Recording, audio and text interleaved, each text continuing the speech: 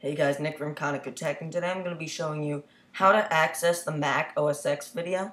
And what that is, is when you first start up your Mac, there's a little video that plays, and it says hello in a bunch of different languages.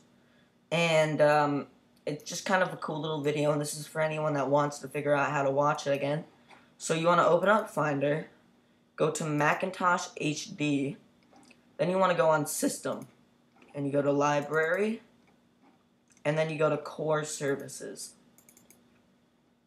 Then if you go down, you want to look, you want to go to this right here, setup assistant, and you want to press control, then right click and press show package content and this will open up a new um, finder window.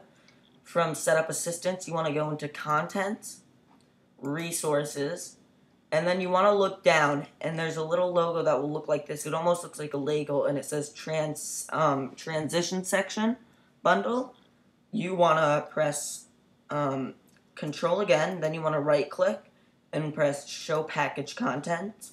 then you want to go into the contents folder on the, the new Finder window that says transaction section. And you go down and you go to resources and then right here, you will have the intro and the sound for it.